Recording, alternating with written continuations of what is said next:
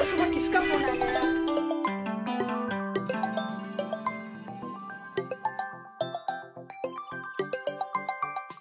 Hello कविता क्रिकेटा बोल रही हैं क्या? जी सर। भाई आपने अभी तक अपना अकाउंट डिटेल्स जमा नहीं किया? और क्या क्या जमा देना था सर? भाई अपना आधार कार्ड पैन कार्ड अपना अकाउंट नंबर ये सब तो जमा देना था ना? आप कहाँ से बोल रहे हैं सर? मैं स्टेट बैंक ऑफ़ इंडिया से बोल रहा हूँ हाँ। सर मैं कल आके जमा कर दूँ? ठीक है। हाँ ठीक है सर।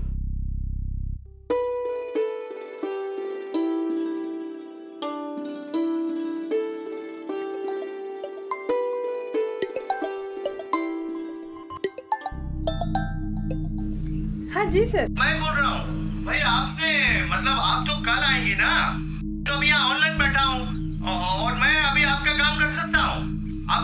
पैन कार्ड का नंबर और पासबुक का नंबर ये सब दे दीजिए अभी।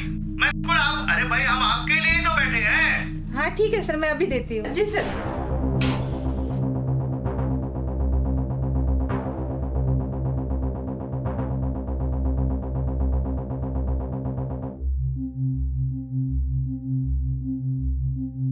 लाइन में है? हाँ है। क्या बताना है सर? सेविंग बैंक नंबर बोलिए। हाँ लिखिए sir. Two zero zero two zero zero. Three nine.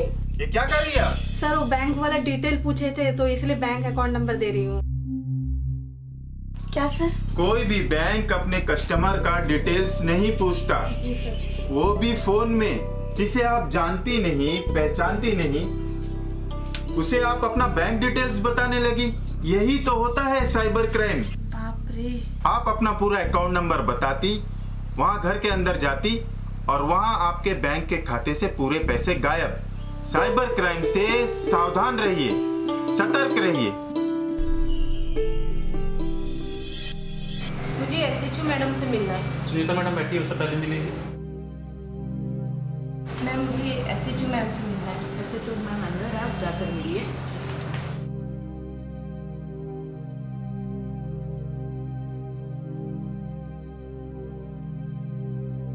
नाम क्या है मैडम आपका? सुनीता। सुनीता जी आपके फादर का नाम?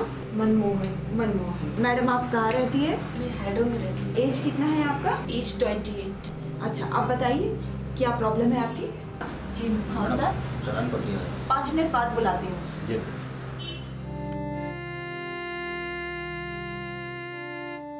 अच्छा बताइए क्या परेशानी है आपकी? मैं और नितिन एक साल से प्यार करती फेसबुक से दोस्ती हुआ था हमारा। कहा था कि हम लोग शादी करने वाले। एक दिन वो अचानक फ़ोन किया।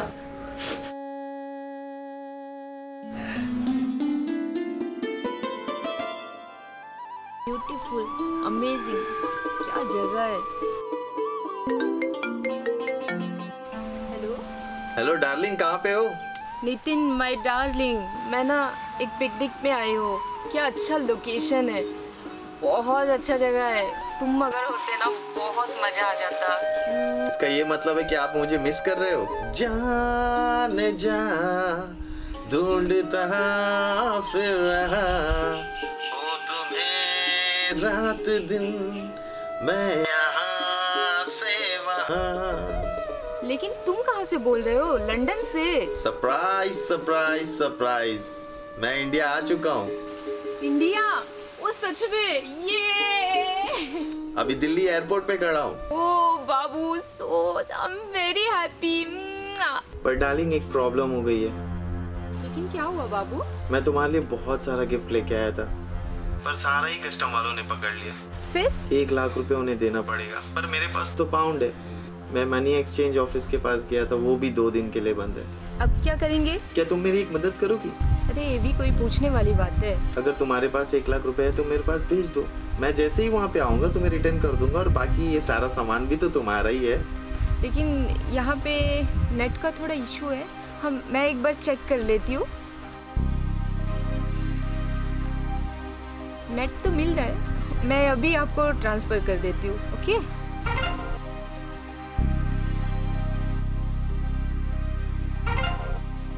कल मुझे लेने आओगी ना एयरपोर्ट पे?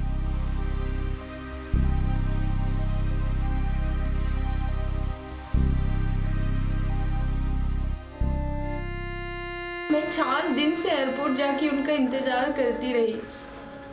फिर वो नहीं आया फ़ोन स्विच ऑफ़ आ रहा है। अच्छा। उसका बाद से मैं उसको कंटिन्यू कॉल कर रही हूँ पर फ़ोन नहीं लग रहा है। नहीं आया।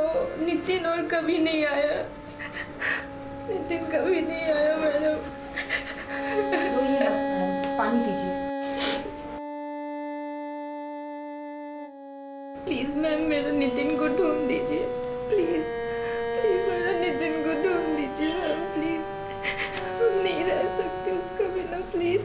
साइबर क्राइम का शिकार हो गई हैं। पिछले एक साल से आप जिससे बात कर रही हैं वर्चुअल वर्ल्ड में, वो नितिन है भी कि नहीं, ये भी नहीं पता। उसकी आइडेंटिटी जो आप, जो उसने फ़ोटो दिखाई, वो भी वो बंदा है या नहीं है, ये भी नहीं पता।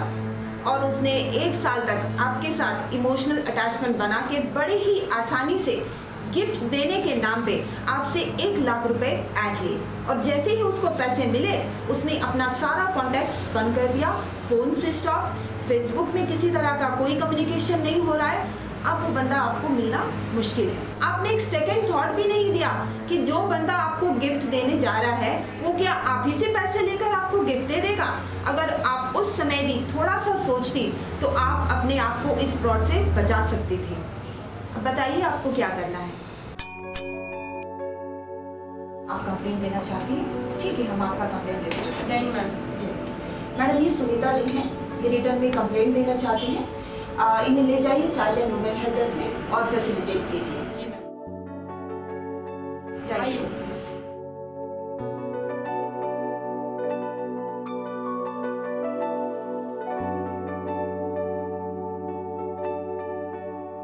मैडम जो इंसिडेंट आपके साथ हुआ है ऐसा किसी और के साथ ना हो। इसलिए आप इसकी जानकारी अपने परिवार में, अपने नेबरहुड में, अपने सगे संबंधों में, अपने जितने कॉन्टैक्ट्स हैं, उसमें ज़रूर बताएँ, ताकि वो लोग भी अपने आप को साइबर क्राइम से बचा सकें। साइबर क्राइम से सचेत रहें, सावधान रहें।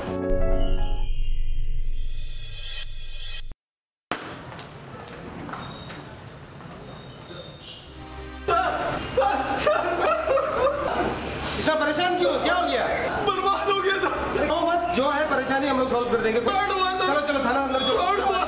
थाना अंदर चलो। अंदर चलो। आराम से रो मत। प्लीज़ बैठो आराम से बैठो आराम से बैठो।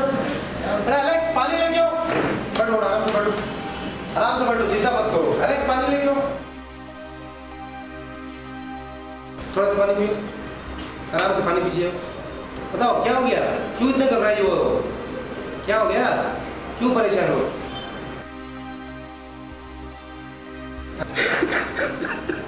आराम से शांति से। ठीक अब बताओ क्या हो गया? सर, क्या फ्रॉड हो बताइए।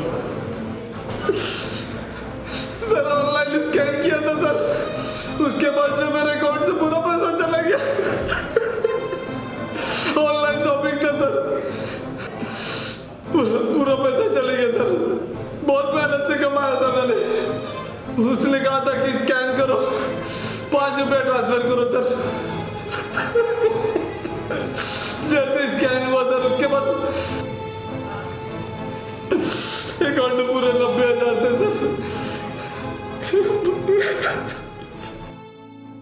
इस तरह के कई साइबर फ्रॉड्स आजकल आम हमने देखा है। बहुत लोगों के साथ इस तरह इस तरीके का फ्रॉड हुआ है। हमने कई एफ़ रजिस्टर करके इस को सॉल्व भी किया है और लोगों को उनका पैसा भी रिकवर करवाया है। ठीक आप बिल्कुल मत घबराइए ठीक? हम आपका कंप्लेंट को तुरंत दर्ज कर देंगे एफ़ में। दर्ज करके उसमें तुरंत इन्वेस्टिगेशन करना शुरू कर। ठीक है एक पाँच मिनट बाद ठीक पुलिस डिपार्टमेंट आपकी सेवा के लिए है। आप पुलिस को अपना समझकर यहाँ पर आपकी जो भी इश्यूज़ है उसको लेके आते हैं। हम आपके इश्यूज़ को प्रॉपरली सॉल्व करके आपके सेटिस्फैक्शन के हिसाब से काम करते हैं। आप बिल्कुल मत घबराइए आपका पूरा पैसा हम रिवर्ट करवा देंगे। ठीक है बिल्कुल। जीवन इनके साथ ना साइबर फ्रॉड हुआ है। ऑनलाइन शॉपिंग ऐप में ठीक है के थ्रू में हुआ इनका तुरंत कंप्लेंट ले लो और उसमें एफ़ दर्ज करके जितना जल्दी से जल्दी जिस अकाउंट में पैसा गया उसको होल्ड करवाने की कोशिश ठीक है? यू हमारी ड्यूटी है। नहीं आप घबराइए मत आप बिल्कुल मत घबराइए हमारी ड्यूटी है। ये हमारी ड्यूटी है। ठीक? हम हम ज़रूर आपके साथ आपकी मदद करेंगे। जय जीवन। लेके जाओ। आप लोग साइबर क्राइम से सावधान रहिए और सतर्क रहिए।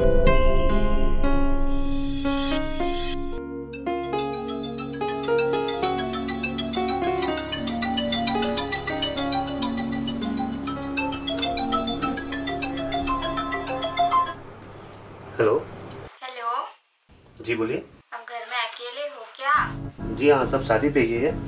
वेरी गुड मैं यही चाहती थी जी।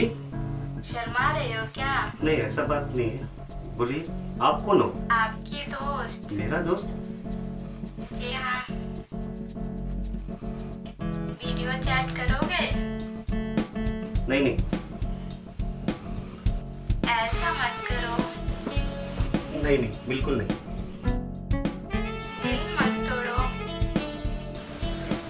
अभी नहीं। अभी तो टाइम है। अभी नहीं तो फिर कभी नहीं। ठीक है। हेलो अरे तुम तो बहुत सुंदर हो। आप भी बहुत सुंदर हो। कौन? मैं?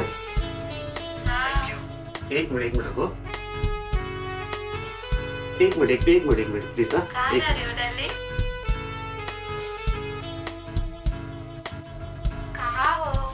हेलो मैं आ गया। अरे। अरे क्या कर रही हो तुम? और चाहिए। बस करो। लो और लो। आप नहीं उतर सकते हो क्या? हेलो हेलो मैं अभी उतार रहा हूँ ना। आए आए आए आए आए आए। और भी उतारो ना। और उतार तू मैं अभी? अरे वाह आप कितना जवानी हो। आए फिर ना आए। अरे अंकल! तो क्या कर रहे हैं आप? फ़ोन तो कट हो गया। अरे अंकल! आपको पता है कि ये चीज़ खास कर किसी ओल्ड मैन के साथ या तो किसी पैसे वाले के साथ होता है। नहीं नहीं नहीं पता। अब आपको कॉल आया तो आपसे पूछा होगा कि आप घर पे अकेले हो। हाँ हाँ उसके बाद कहा होगा कि आप बहुत हैंडसम हो। आप भी बहुत सुंदर हो।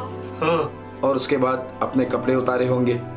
हाँ हाँ फिर आपको कहा होगा कि आप अपने कपड़े उतारो। हाँ पर आप ये आपको आपको, आपको कैसे पता है सभी? अरे अंकल अगर आप अपने पूरे कपड़े उतार देते तो हो सकता है आपकी वीडियो बन जाती। आपको ब्लैकमेल करते पैसे की डिमांड करते। अगर आप पैसे नहीं देते तो आपके फ़ोटोज़ और वीडियोस को सोशल मीडिया में वायरल कर देते। अंकल अब तक तो आपका वीडियो भी बन चुका क्या? मेरा वीडियो? मेरा वीडियो मेरा वीडियो मेरा इज़्ज़त चल गया मेरा वीडियो मेरा इज़्ज़त चल गया माफ़ कर दीजिए मुझे। चल लीजिए सर मेरा इज़्ज़त चल अंकल इस तरह के साइबर क्राइम से सावधान रहिए सतर्क रहिए। I am the king of cyber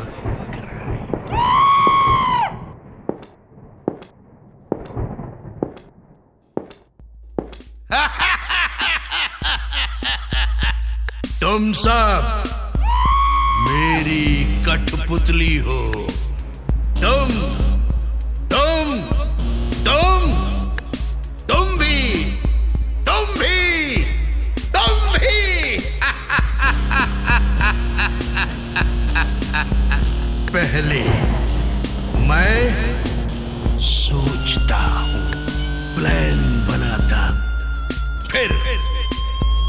फिर मैं उस प्लान को एग्जीक्यूट यानी अंजाम देता हूँ जिसमें फंसते हैं तुम जैसे पैसों के लालची अकेलापन के मारे हुए मेंटल स्ट्रेस और अनएम्प्लॉयमेंट के फ्रस्ट्रेशन के सताए हुए लोग ये मेरे अस्त्र शस्त्र हैं क्या कहते हैं?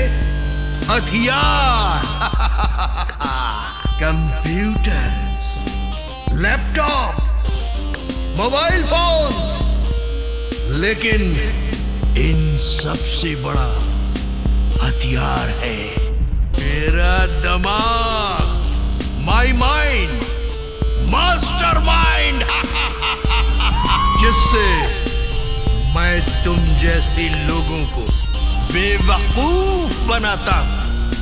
दरअसल, बेवकूफ़ क्या बनाता हूँ? तुम खुद ब खुद बेवकूफ़ बन जाते हो। यही तो मेरी क्वालिटी है। रोज नए नए साइबर क्राइम के तरीकों को ढूंढना, उनका इजाद करना, यही तो मेरी खूबी है।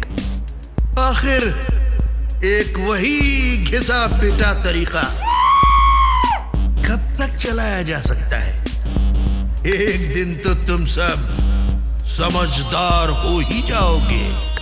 इसलिए मैं तुम सबको समझने का मौका ही नहीं देता हूँ। अभी आप मेरे एक तरीके को समझ ही पाते हो तब तक मेरा दूसरा तरीका मार्केट में आ जाता है। और तुम लोग तुम लोग फिर बन जाते हो बेवकूफ़। देखो भाई, मेरा तो ये मानना है कि जब तक पैसों का लालच मेंटल टेंशन अनएम्प्लॉयमेंट का फ्रस्ट्रेशन अकेलापन बरकरार रहेगा। तब तक मेरा ये धंधा आसानी से फलता फूलता रहेगा आपका ये सब खत्म, समझो मैं खत्म। लेकिन प्लीज़ मुझे मरने मत देना। अभी जो आपने इस साइबर क्राइम की अवेयरनेस के बारे में जो फ़िल्म में देखा। तो मैं एक ही बात कहना चाहूँगा कि आज जिस तरह से इंटरनेट का इस्तेमाल बढ़ा है साइबर क्राइम्स भी उसी तरह से बढ़े हैं और ख़ास तौर से हमारे इन आइलैंड्स में साइबर क्राइम की जो घटनाएँ हैं, उसमें काफ़ी बढ़ोतरी हुई है। हमने अभी एक नया साइबर क्राइम पुलिस स्टेशन भी बनाया है पूरे द्वीप समूह के लिए। तो मेरी आपसे एक ही गुजारिश रहेगी कि अगर आप साइबर क्राइम का गाहे बगाहे अगर शिकार होते हैं तो बिल्कुल घबराइए नहीं।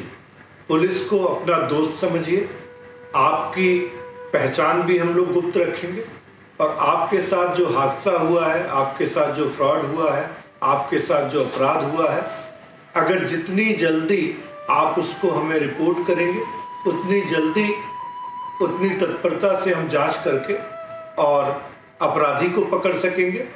और इस साइबर क्राइम में एक और जो विशेषता है कि आप जब तत्परता से अपने बारे में, अपने साथ हुई घटना के बारे में जब पुलिस को बताते हैं तो न केवल आप अपराधी को पकड़ने में मदद करते हैं, बल्कि हज़ारों, लाखों अन्य लोगों को भी उस साइबर क्रिमिनल का जो शिकार होने से बचाते हैं, क्योंकि तुरंत फिर एन एन पुलिस, बाकी स्टेट की पुलिस, बाकी देश, सब लोग इस तरह से साइबर क्राइम्स के प्रिवेंशन के लिए मेजर लेने लगते हैं।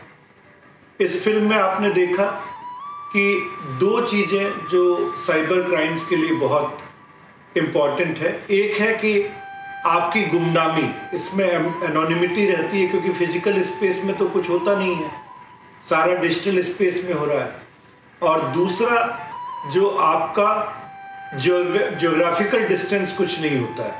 आपको जो फ्रॉड कर रहा है आपके साथ, हो सकता है वो अफ्रीका के किसी देश में बैठा हो हो सकता है वो किसी और कॉन्टिनेंट की किसी जगह पर बैठा हो हो सकता है किसी और प्रदेश में हो।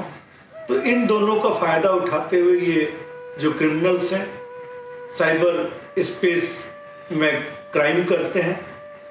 इसमें एक और गौर करने वाली बात है कि आप चूँकि किसी से मिले नहीं हैं तो किसी पे भरोसा मत कीजिए। क्योंकि आपने उस आदमी को देखा नहीं है। हो सकता है वो आपको अपनी पहचान एक लड़के के रूप में बता रहा हो हो सकता है कोई वो लड़की हो, कोई वृद्ध आदमी हो। और दूसरा, वो जहाँ का वो बता रहा है, आप उसको वेरीफाई भी नहीं कर सकते हैं। जैसे अगर मान लीजिए एसटीडी या फ़ोन है तो आपने फ़ोन करके उसका शहर जान लिया। तो वो भी सुविधा नहीं है। और तीसरा कि इसमें लालची बिल्कुल नहीं बने। क्योंकि हमने कई साइबर फ्रॉड्स में देखा है कि लोग लालच का शिकार हो जाते हैं। पहले वो आपसे छोटा इन्वेस्टमेंट करवाते हैं फिर थोड़ा प्रॉफिट देते हैं जो कि बहुत ही डिस्प्रोपोर्शनेट प्रॉफिट होता है। और उसके बाद लालच में आपके आके आप जब बड़ा इन्वेस्टमेंट करते हैं तो आ, उसके बाद वो आपका पैसा लेके गायब हो जाते हैं। कई बार हमने देखा है कि जो लड़कियाँ या युवतियाँ हैं, उनको लोग इंटाइज करते हैं और उन्हीं से गिफ्ट के लिए पैसा मांगते हैं। और लड़कियाँ बेचारी चूँकि छह महीना, एक साल से उस व्यक्ति के संपर्क में रहती हैं, जिसको वो जानते नहीं है, वो किसी भी तरह का फ़ोटो अपना भेज रहा होता है और अंत में वो भी फ्रॉड का शिकार होती है। इसके अलावा सेक्सटॉर्शन एक बहुत बड़ी समस्या है, जिसमें कई गिरोह भी देखे गए हैं कि वो किसी व्यक्ति को अकेला पाके या उसकी कमज़ोरी का फ़ायदा उठा के पहले उसको, चाहे वृद्ध हो, चाहे जवान हो, उसको बातचीत के लिए उकसाती हैं और फिर वो, ये भी नहीं जानते कि वो युवती है या कोई लड़का है और वो फिर आपसे एक्सटॉर्शन की डिमांड करती है कि हम आपको समाज में बदनाम कर देंगे और आप हमें इतना पैसा देते रहिए। और अक्सर हमने साइबर क्राइम में देखा है कि लोग घटना को दर्ज करवाने में या पुलिस को बताने में काफ़ी हिचकिचाते हैं, शर्माते हैं। मैं फिर आपसे कहूँगा कि पुलिस आपकी फ्रेंड है। पुलिस को जितनी जल्दी आप सूचना देंगे, उतना अच्छा रहेगा। देश इस समस्या से जूझ रहा है। 1930 ऑल इंडिया साइबर हेल्पलाइन है। आप अपनी report cyber crime dot G O V dot in पे भी दर्ज करवा सकते हैं, जो कि हमारे पास आएगी। इस फ़िल्म का जो मुख्य उद्देश्य है कि साइबर क्राइम से सतर्क रहें। साइबर क्राइम से सावधान रहें।